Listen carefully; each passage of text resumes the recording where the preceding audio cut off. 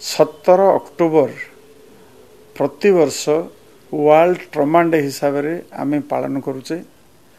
ତାର ଉଦ୍ଦେଶ୍ୟ ହେଲା ଯେ କ'ଣ କାରଣ ଟ୍ରମାର ଟ୍ରମା ହେଲେ କ'ଣ କ'ଣ କ୍ଷତି ହେଉଛି ତାର ସବୁ ଲକ୍ଷଣ କ'ଣ ତାର କ'ଣ ଇନଭେଷ୍ଟିଗେସନ୍ କେମିତି କରିବା ଆଉ ତା ପାଇଁ କ'ଣ ଉପଚାର ହେଉଛି ସବୁଠୁ ଇମ୍ପୋର୍ଟାଣ୍ଟ ହେଲା prevention is always better than cure ତେଣୁ ଏଇ ଟ୍ରମାଟା କେମିତି ପ୍ରିଭେଣ୍ଟ କରିବା ତା ଦ୍ୱାରା ତାର ଯାହା ଇଫେକ୍ଟ ହେଉଛି ସେଇଟା କାହାରି ନ ହେଉ ସେଥିପାଇଁ ୟାର ଉଦ୍ଦେଶ୍ୟ ରହୁଛି।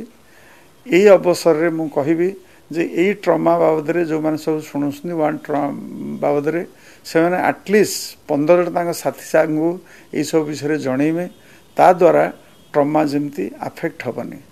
ଟ୍ରମା ହେବାର ମୁଖ୍ୟ କାରଣ ହେଲା ଯେ ରୋଡ଼ ଟ୍ରାଫିକ୍ ଆକ୍ସିଡେଣ୍ଟ ହେଲା କମନ୍ କଜ୍ ଟ୍ରମାର ତା ଛଡ଼ା ଫଲ୍ ସ୍ପୋର୍ଟସ୍ ରିଲେଟେଡ୍ ଆକ୍ଟିଭିଟି ଯେଉଁ ରହୁଛି ଏଇସବୁ ହେଲା ସୁଇମିଂ ଏଇସବୁ ହେଲା ଟ୍ରମାର କାରଣ ମୁଖ୍ୟତଃ ରୋଡ଼ ଟ୍ରାଫିକ୍ ଆକ୍ସିଡେଣ୍ଟ ହେଲା ମୁଖ୍ୟ କାରଣ ଏଇଥିରେ ଦେଖାଯାଇଛି ଯେଉଁମାନେ ସବୁ ଟୁ ହ୍ୱିଲର ଟ୍ରାଭେଲ୍ କରନ୍ତି ଯେଉଁମାନେ ସବୁ ପେଡେଷ୍ଟ୍ରିଆନ୍ ସେମାନଙ୍କୁ ଟ୍ରମା ଆଫେକ୍ଟ ହୁଏ ଆଉ ଟ୍ରମାରେ କ'ଣ ହୁଏ ସେଇଟା ବ୍ରେନ୍ ଇଞ୍ଜୁରି ହେଇପାରେ ଆମର ସ୍ପାଇନାଲ୍ କର୍ଡ଼ ଇଞ୍ଜୁରି ହେଇପାରେ ଚେଷ୍ଟ ଇଞ୍ଜୁରି ହେଇପାରେ ଆବଡୋମିନ୍ ଇଞ୍ଜୁରି ହେଇପାରେ ଲିମ୍ ଇଞ୍ଜୁରି ହେଇପାରେ ଏସବୁ ଇଞ୍ଜୁରି ହେବାର ହେଉଛି ଏଇଟା ଦେଖାଯାଇଛି ଯେତେ ଟ୍ରମା ରିଲେଟେଡ୍ ଡେଥ୍ ହେଉଛି ସେଇଟା thirty percent at the site of accident ହେଉଛି।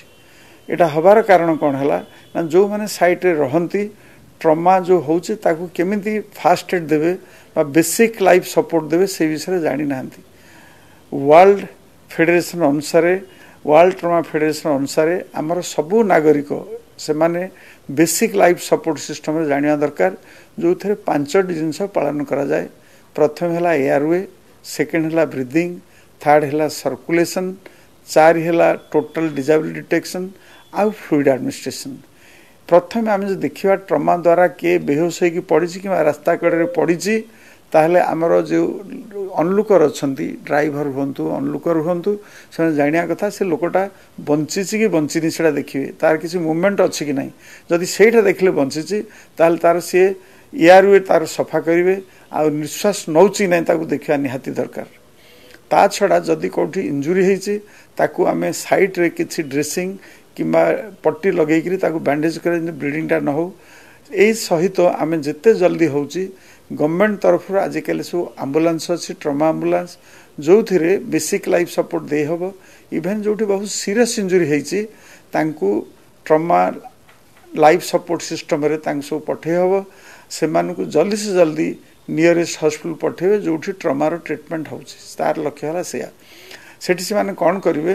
ସେମାନଙ୍କୁ ସବୁ ଦେଖିବେ କ'ଣ କ'ଣ ଅଙ୍ଗ ଆଫେକ୍ଟ ହେଇଛି ବ୍ରେନ୍ ଇଞ୍ଜୁରି ହେଇଛି କି ନାହିଁ ସ୍ପାଇନ୍ ଇଞ୍ଜୁରି ହେଇଛି କି ନାହିଁ ତାଙ୍କର ଚେଷ୍ଟ ଇଞ୍ଜୁରି ହେଇଛି କି ନାହିଁ ଆବଡୋନ୍ ଇଞ୍ଜୁରି ହେଇଛି କି ନାହିଁ ଲିମ୍ ଇଞ୍ଜୁରି ହେଇଛି ୟା ବିଷୟରେ ସେମାନେ ସବୁ ଚେକ୍ କରିବେ ତାକୁ କୁହନ୍ତି head to examination head to examination କରିକି ସେଠି ସେମାନେ ଟ୍ରାଏଜ୍ କରିବେ ଯେଉଁମାନଙ୍କର ଅର୍ଜେଣ୍ଟ ସର୍ଜରୀ ଦରକାର ରିସର୍ଚ୍ଚ ଦରକାର ତାଙ୍କୁ ସାଙ୍ଗେ ସାଙ୍ଗେ ଆଇସିୟୁ ପଠାଇବେ ଓଟି ଭିତରେ ଅପରେସନ୍ କରିବେ ଯେଉଁମାନେ ଟିକେ ମଡରେଟଲି ରିସର୍ଚେସନ୍ ଦରକାର ନାହିଁ ମଡରେଟଲି ସିଭିୟର ଇଞ୍ଜୁରି ସେଥିରେ ସେମାନଙ୍କୁ ରିସର୍ଚେସନ୍ ଦେବେ କିଛି ଟ୍ରିଟମେଣ୍ଟ କରିପାରିବେ ଲୋକାଲ ଲେଭେଲରେ ହେଇପାରିବ।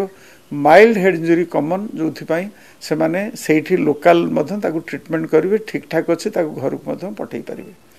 ଏଇଟା ହେଲା ଆମର ରାସ୍ତାରେ ଯେଉଁଠି ଆକ୍ସିଡେଣ୍ଟ ତା କାମ କରିବା। ତା ଛଡ଼ା ରାସ୍ତାରେ ଯେତେବେଳେ ଆସୁଛନ୍ତି ସେ ମଧ୍ୟ ତାଙ୍କୁ ସେଭଳିଆ ଏୟାରୱେ ବ୍ରିଦିଂ ସର୍କୁଲେସନ୍ ଗୋଟେ ଆଇଭି ଲାଇନ୍ ଲଗେଇ ତାଙ୍କୁ ଆଡ଼ଭାନ୍ସ ଲାଇଫ୍ ସପୋର୍ଟ ସିଷ୍ଟମରେ ନିୟରେଷ୍ଟ ହସ୍ପିଟାଲ ଯେଉଁଠି ସିଭିୟର ଇଞ୍ଜୁରି ତାକୁ ପଠାଇବେ।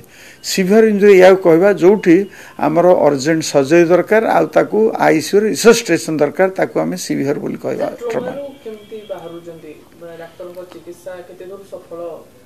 ଆମେ ଏହା ଦେଖିଛେ ଯେଉଁମାନେ ହସ୍ପିଟାଲରେ ଆସିକି ପହଞ୍ଚି ଯାଆନ୍ତି ତାକୁ ସାଙ୍ଗେ ସାଙ୍ଗେ ଆମେ ଦେଖିବା ତାର କ'ଣ ପାର୍ଟ ଆମର ଇଞ୍ଜୁରି ହେଇଛି କେଉଁ ପାର୍ଟରେ ଟ୍ରମା ହେଇଛି। ଆଉ ସବୁଠୁ ଅର୍ଜେଣ୍ଟ ହେଲା ଯଦି ପେଟ ଭିତରେ କୌଣସି ରକ୍ତନଳୀ ଫାଟି ଯାଇଛି ବା ଆମର ଆବଡୋମିନାଲ ଇଞ୍ଜୁରି ହେଇକିରି ଯଦି କିଛି ବ୍ଲିଡିଂ ହେଉଛି splenic injury liver injury that takes priority second ହେଲା ଯଦି ଆମର ବ୍ରେନ୍ ଭିତରେ କ୍ଲଟ୍ ହେଇଛି ସେଇଟା ହେଲା second priority top most priority ତା ଛଡ଼ା ଯଦି ହାର୍ଟ ଭିତରେ କିଛି ଇଞ୍ଜୁରି ହେଇକିରି ତାର ବ୍ଲଡ୍ ଚେଷ୍ଟ ଭିତରେ ଅଛି ତାକୁ ମଧ୍ୟ ପ୍ରାୟୋରିଟି ହିସାବରେ ଟ୍ରିଟମେଣ୍ଟ କରିବା। ଯେତେ ଫ୍ରାକ୍ଚର ଅଛି ତାକୁ ମଧ୍ୟ ଆମେ ସ୍ପ୍ରିଣ୍ଟ ଲଗେଇ କରିବା। ଟ୍ରମାଇସ୍ ମୁଁ ଏହା କହୁଛି prevention is always better than cure ତେଣୁ ଆମେ ଟ୍ରମା ପ୍ରିଭେଣ୍ଟ କରିବା। ସେଇଟା କେମିତି ହେବ? ଆମେ ଯଦି ରୋଡ୍ ଟ୍ରାଫିକ୍ ଆକ୍ସିଡେଣ୍ଟଟାକୁ ପ୍ରିଭେଣ୍ଟ କରିପାରିବା ସତୁରି ପରସେଣ୍ଟ ଟ୍ରମା ବେମାରୀ କମିଯିବ। ଆଉ ସେଇଥିପାଇଁ ଆମେ ସଦାବେଳେ ଯଦି ଟୁ ହ୍ୱିଲର ଯାଉଛେ ଆମେ ହେଲମେଟ୍ ପିନ୍ଧିବା ଇନକ୍ଲୁଡ଼ିଂ ପିଲିୟନ ଡ୍ରାଇଭର କାର୍ ଯାଉଥିଲେ ଆମେ ନିଶ୍ଚୟ ଲଗେଇବା ସିଟ୍ ବେଲ୍ଟ ଲଗେଇବା।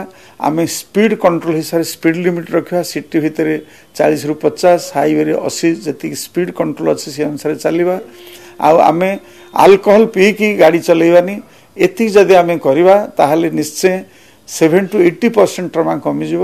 That will prevent trauma so that is better than cure जदि आपंक आम भिडी भल लगा तेब आम चैनल को लाइक शेयर और सब्सक्राइब करने को जमा भी भूलु नहीं